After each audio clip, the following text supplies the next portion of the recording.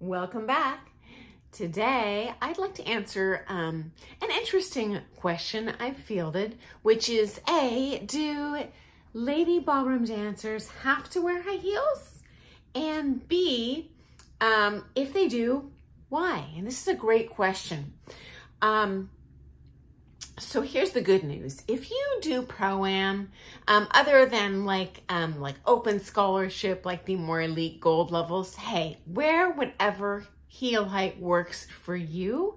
The judges know you're not a professional dancer. You're probably a little bit older.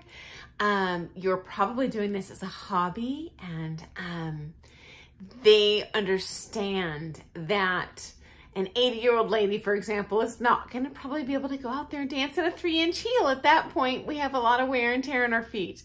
Um, the bad news is if you are dancing an amateur, especially championship level, certainly open pro, unfortunately, uh, the answer is yes. You've got to wear these bad boys. Um, and I'm going to um, share with you three reasons um, my coaches have all consistently given me about why we have to do this or why we should do this. Okay, number one, it's firstly, um, the heel extends the leg line, the ankle line.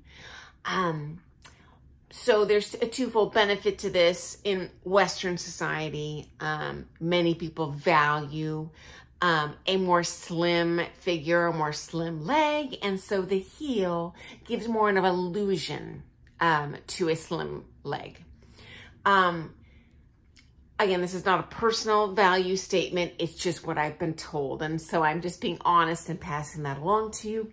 Um, but another part of this that I actually fully agree with, um, it does maximize the leg line um, in terms of when you're in a heel, it's easier to make one line from your toe all the way to your knee than if, for example, you're wearing a work boot or a Doc Marten.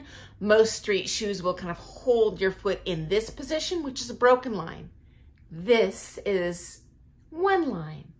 And unless we're talking about hip hop, in, in most styles of dance, minimal body lines is more pleasing to look at um, in those partner dances, that's definitely the case. Even a non-dancer would look at the couple and recognize, hmm, that looks pretty. Um, uh, I've also been told related to this that it's best for most ladies to select a heel that is in a flesh tone if you are just wearing tan legs or a black shoe if you're wearing black fishnets that further adds to the illusion of an extended one line. Now, this day and age, certainly if you're wearing a fuchsia gown, hey, go ahead and have your fuchsia shoes matched. But if you do, I would recommend making sure you have very flexible and strong ankles and that you're really able to articulate this um, so that it looks like one straight line. Um, unless you're at a really elite level, I'd probably go with that flesh tone um, just because, hey, when you're competing, you it's good to say uh, to hedge all of your bets. Okay. Um, secondly, I have been told that wearing heels um, helps promote the proper technique for the follow. So in the International Latin, and I have previously, uh, and rhythm, I've, and I've pre previously posted videos on dance shoes and what they look like, why we wear them, where to get them. Um, I can post links to those previous videos in the description. But anyway, um, in Latin, we generally wear, this is a three inch heel, okay? Um, and when you do that, it pitches your body naturally forward in that high heel as opposed to no heel, okay? And certainly in the Latin dances, you want your body up and forward to your partner and not back behind your butt with slouched shoulders. So I would agree that the three inch very high heel does um, propel your body a little bit to the correct position. Um, and in my experience, you know, the men with that one and a half inch Cuban heel do have a harder time in Latin with that forward posture, just because the ladies are naturally going to be pitched there by those high heels, okay?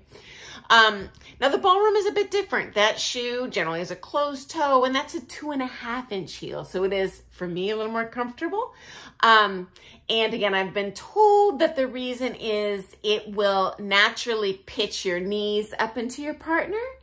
Um, that way you're sustaining your own weight on the balls and toes of your feet rather than leaning back into your partner's arm, which would make you more heavy in his arm if he's you're kind of pulling him down um, onto you.